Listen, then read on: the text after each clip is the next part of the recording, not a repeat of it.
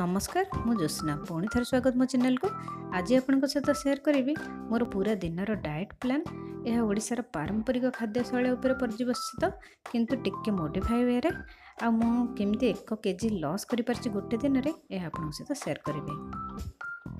ତ ସକାଳୁ ମୁଁ ଯେତେବେଳେ ମୋର ୱେଟ୍ ଚେକ୍ କରିଥିଲି ସେତେବେଳେ ହେଇଥିଲା ଏକାବନ କେଜି ଚାରିଶହ ଗ୍ରାମ।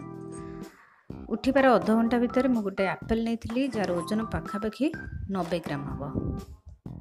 ବ୍ରେକଫାଷ୍ଟରେ ମୁଁ ନେଇଥିଲି ଦୁଇଟା ଇଡ଼ଲି ଚଟନି ଆଉ ଚା।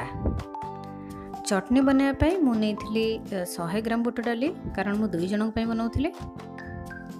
ବୁଟ ଡାଲିକୁ ଚାରିରୁ ପାଞ୍ଚ ମିନିଟ୍ ଯାଏଁ ଟିକେ ଲୋ ଆଞ୍ଚରେ ଭାଜି ଦେଇଥିଲି ଏବଂ ଏହା ଯେତେବେଳେ ଗୋଲ୍ଡେନ୍ ବ୍ରାଉନ୍ ହୋଇଯାଇଥିଲା ସେତେବେଳେ ଗ୍ୟାସ୍ର ଫ୍ଲେମ୍କୁ ଅଫ୍ କରିଦେଇଥିଲି ଏବଂ ପାଣି ଦେଇ ତିରିଶରୁ ପଇଁଚାଳିଶ ମିନିଟ୍ ପର୍ଯ୍ୟନ୍ତ ତାକୁ ସୋକ୍ ହେବାକୁ ଛାଡ଼ି ଦେଇଥିଲି ପଇଁଚାଳିଶ ମିନିଟ୍ ପରେ ଛୋଟ ଗ୍ରାଇଣ୍ଡିଂ ଜାର୍ ନେଇ ସେଠି ଆଡ଼୍ କରିଦେଇଥିଲି ବୁଟକୁ ଏବଂ ସେଥିରେ ଦେଇଥିଲି ଦଶ ଗ୍ରାମ ବା ଛୋଟ ଅଦା ଖଣ୍ଡେ। ଗୋଟେ ଚାମଚ ଲୁଣ।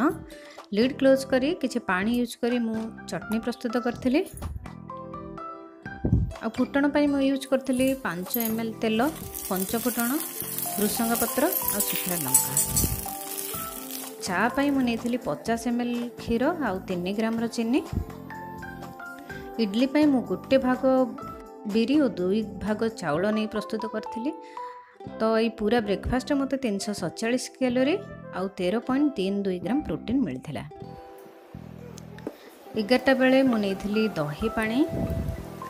ସେଥିପାଇଁ ମୁଁ ନେଇଥିଲି ଶହେ ଗ୍ରାମ ଦହି ଦୁଇ ଗ୍ରାମ ମିଶ୍ରି ଆଉ ପାଞ୍ଚଟି ଗୋଲମରିଚକୁ ମୁଁ ଗୁଣ୍ଡ କରିଦେଇଥିଲି। ଥଣ୍ଡା ପାଣି ଆଡ଼୍ କରିଥିଲି ହାଫ୍ ଟି ସ୍ପୁନ୍ ଭଜା ଜିରା ଗୁଣ୍ଡ ଦେଇ। ଏହାକୁ ମିକ୍ସ କରିଦେଇଥିଲି ଚାମଚରେ। ମୁଁ ଖରାଦିନେ ସାଧାରଣତଃ ଦହି ପାଣି ପିଇବା ପାଇଁ ଭଲ ପାଏ। ଆଉ ଦହି ପାଣି ଆମ ଶରୀରକୁ ଥଣ୍ଡା ରଖିବାରେ ସାହାଯ୍ୟ କରେ। ଏଥିରେ ବହୁତ ପ୍ରୋଟିନ୍ ବି ଅଛି। ଲଞ୍ଚ ନେଲା ବେଳକୁ ମୁଁ ପ୍ରାୟ ଦୁଇଟା ହୋଇଯାଇଥିଲା। ଏବଂ ଲଞ୍ଚରେ ମୁଁ ଡାଲମା ପ୍ରସ୍ତୁତ କରିଥିଲି। ଡାଲମା ପାଇଁ ମୁଁ ନେଇଥିଲି ବିନ୍ସ ପଚାଶ ଗ୍ରାମ ବାଇଗଣ ଗୋଟେ ବଡ଼ କିମ୍ବା ଶହେ ତିରିଶ ଗ୍ରାମ ଗାଜର ପଚାଶ ଗ୍ରାମ ଟମାଟୋ ସତୁରି ଗ୍ରାମ କଖାରୁ ଅଶୀ ଗ୍ରାମ କଞ୍ଚା ଅମୃତଭଣ୍ଡା ଶହେ ଗ୍ରାମ ଏହାକୁ ଛୋଟ ଛୋଟ କରି କାଟି ଦେଇଥିଲି। ଗୋଟେ ଛୋଟ ଖଣ୍ଡ ଅଦା ନେଇଥିଲି। ଆଉ ମୁଗ ଡାଲି ମୁଁ ଏଠି ନେଇଥିଲି ଶହେ ଗ୍ରାମ। ଆଉ ପିଆଜ ନେଇଥିଲି ପଚାଶ ଗ୍ରାମ। ପାଣି ଦେଇ ଡାଲମା ପ୍ରସ୍ତୁତ କରିଥିଲି। ଷୋହଳ ଡଙ୍କି ଡାଲମା ହେଇଥିଲା। ଫୁଟଣ ପାଇଁ ମୁଁ ୟୁଜ୍ କରିଥିଲି ଦଶ ଏମ୍ ଏଲ୍ ତେଲ ସୋରିଷ ଜିରା ଶୁଖିଲା ଲଙ୍କା। ଲଞ୍ଚରେ ମୁଁ ନେଇଥିଲି ଶହେ ଗ୍ରାମ ଦହି। ଚାରି ଡଙ୍କି ଡାଲମା ନେଇଥିଲି। ମାନେ ପଚିଶ ଗ୍ରାମ ମୁଗ ଯାଇର ଡାଲମା ଏଠି ହେଇଥିଲା। ଗୋଟେ କାକୁଡ଼ିକୁ ମୁଁ ଛୋଟ ଛୋଟ କରି କାଟି ନେଇଥିଲି ଯାହାର ଓଜନ ଥିଲା ପାଖାପାଖି ଶହେ ଗ୍ରାମ। ଆଉ ନେଇଥିଲି ଗୋଟେ ହାଇ ପ୍ରୋଟିନ୍ ମଲ୍ଟିଗ୍ରେନ୍ ରୁଟି।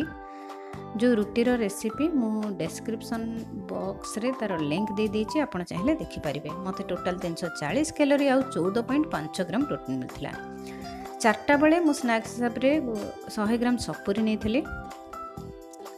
ଆଉ ଡିନରରେ ମୁଁ ନେଇଥିଲି ଗଜାମୁଗ ପ୍ରସ୍ତୁତ ଗୋଟେ ପିଠା। ଏହି ପିଠା ପ୍ରସ୍ତୁତ କରିବା ପାଇଁ ମୁଁ ମୋର ଛୋଟ ଚଟନି ଗ୍ରାଇଣ୍ଡିଂ ଜାର୍ ନେଇଥିଲି। ସେଇଥିରେ ମୁଁ ପଚାଶ ଗ୍ରାମ ମୁଗକୁ ଆଗରୁ ବତୁରେଇ ଗଜା କରିଦେଇଥିଲି ତ ସେଇ ଗଜା ମୁଗକୁ ଆଡ଼୍ କରିଥିଲି। ସେଥିରେ ଦେଇଥିଲି ଲୁଣ ଅଦା କଞ୍ଚା ଲଙ୍କା ଏହାକୁ ପୁରା ଫାଇନ୍ ଗ୍ରାଇଣ୍ଡ ନ କରିକି ଟିକେ ଦରଦରିଆ ଭାବେ ଗ୍ରାଇଣ୍ଡ କରିକି ପ୍ରସ୍ତୁତ କରିଥିଲି। ଏବଂ ଏହାକୁ କଲେକ୍ଟ କରିଦେଇଥିଲି ଗୋଟେ ବାଉଲରେ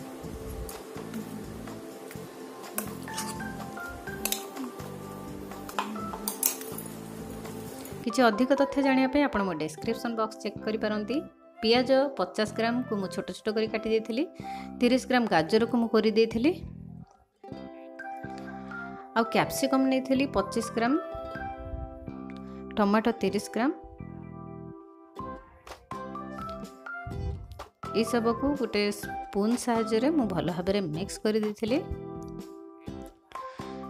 ଭିଡ଼ିଓ ଭିତରେ ମୁଁ ଆପଣଙ୍କର ଧ୍ୟାନ ଟିକେ ମୋର କଥାଟା ଆକର୍ଷଣ କରିବା ପାଇଁ ଚାହିଁବି ଯଦି ମୋ ଭିଡ଼ିଓଟି ଆପଣଙ୍କୁ ଭଲ ଲାଗୁଥାଏ ତେବେ ମୁଁ ଭିଡ଼ିଓକୁ ଲାଇକ୍ ଆଉ ସେୟାର କରନ୍ତୁ ମୋ ଚ୍ୟାନେଲକୁ ସବସ୍କ୍ରାଇବ୍ କରନ୍ତୁ ପାଖରେ ଥିବା ବେଲ୍ ଆଇକନ୍ ବଟନ୍ଟିକୁ ନିଶ୍ଚୟ ପ୍ରେସ୍ କରନ୍ତୁ ଯାହାଫଳରେ ମୁଁ ଯେତେବେଳେ ନୂଆ ଭିଡ଼ିଓ ଅପଲୋଡ଼ କରିବି ଆପଣ ତାହାର ନୋଟିଫିକେସନ୍ ପାଇପାରିବେ ବର୍ତ୍ତମାନ ଆସନ୍ତୁ ରେସିପି ଆଡ଼େ ମୁଁ ତାୱା ଗରମ କରି ସେଥିରେ ଦେଲି ପାଞ୍ଚ ଏମ୍ ଏଲ୍ ତେଲ ଓ ଏହାକୁ ମୁଁ ହାତ ସେ ଯେଉଁ ମୁଗ ବଟା ଥିଲା ତାହାକୁ ହାତ ସାହାଯ୍ୟରେ ଭଲ ଭାବେ ତାୱା ଉପରେ ସ୍ପ୍ରେଡ଼୍ କରିଦେଇଥିଲି। ଫ୍ରିରେ ଯଦି ଆପଣ ଟିକେ ଏକ୍ସଟ୍ରା ପୋଷକ ତତ୍ତ୍ୱ ପାଇବାକୁ ଚାହୁଁଛନ୍ତି ତେବେ ମୁଗ ବୁଟ ମେଥି ଏସବୁକୁ ଗଜା ପ୍ରସ୍ତୁତ କରି ନିଜ ଡାଏଟ୍ରେ ନିଶ୍ଚୟ ସାମିଲ କରନ୍ତୁ। ଚାରିରୁ ପାଞ୍ଚ ମିନିଟ୍ ହେଇଯାଇଛି। ବର୍ତ୍ତମାନ ଆମେ ଏହାକୁ ଫ୍ଲିପ୍ କରିବା।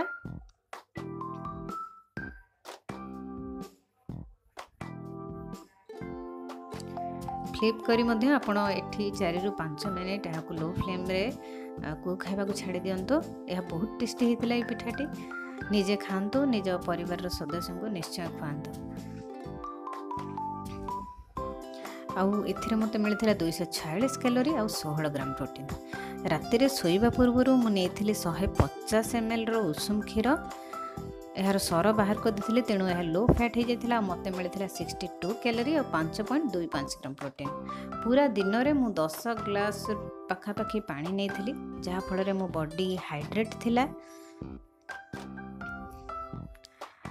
ନେକ୍ସଟ ମର୍ଣ୍ଣିଂରେ ମୁଁ ଯେତେବେଳେ ମୋ ୱେଟ୍ ଚେକ୍ କଲି ସେତେବେଳେ ମୋ ୱେଟ୍ ଥିଲା ପଚାଶ କେଜି ଚାରିଶହ ପଚାଶ ଗ୍ରାମ ପୁରା ନଅଶହ ପଚାଶ ଗ୍ରାମ ମୋ ଓଜନ ମୁଁ କମେଇ ପାରିଥିଲି।